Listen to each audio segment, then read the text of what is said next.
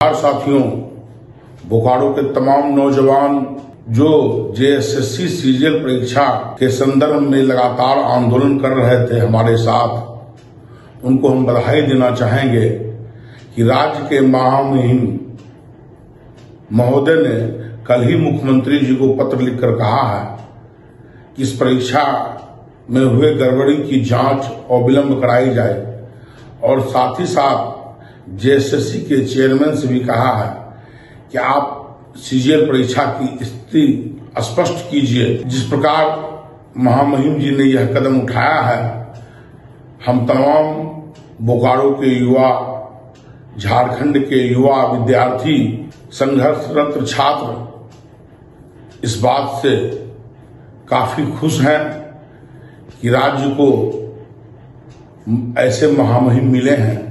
हम महामहिम जी का शुक्रगुजार है, जिन्होंने छात्रों के हित में, उनके भविष्य के हित में इस तरह का कदम उठाया है। अब जाँच होगी।